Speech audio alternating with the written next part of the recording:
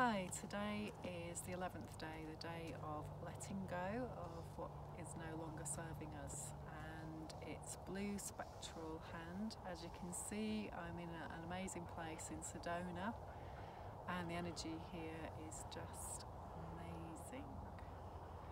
So just tune into the energy here with me.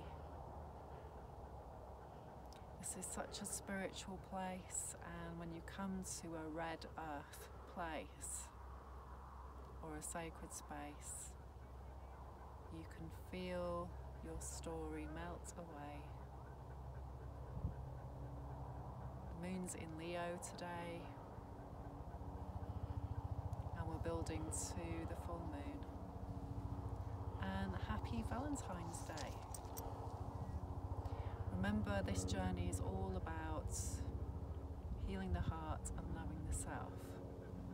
So just tap along with me around what has come up for you in your story over the past 10 days. What was manifest yesterday, and what would you like to let go of?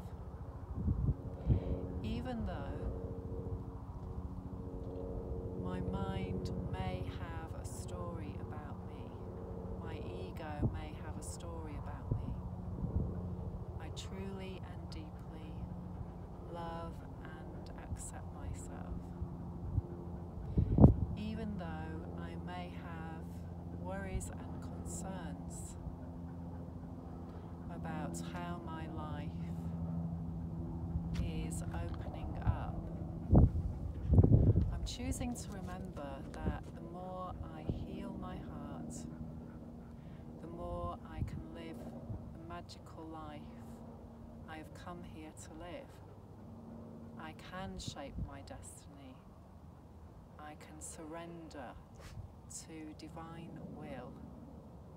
The universe knows my potentiality, even though at times my mind and my story may seem that I have forgotten my spiritual path. I truly and deeply love and accept myself. I'm ready to remember my sacred truth and why I'm here on my journey. I'm ready to let go of anything that doesn't feel heartfelt and loving. My mind can sometimes be tricky. My heart shows me the way. I'm choosing to remember why I came here at this time. At this time of the full moon in Leo, I'm ready to feel fulfilled. I'm ready to let go of my fears. I'm ready to heal my heart. Ready to remember my spiritual path and align with divine will. Hope you have an amazing Valentine's Day. Lots of love. See you tomorrow.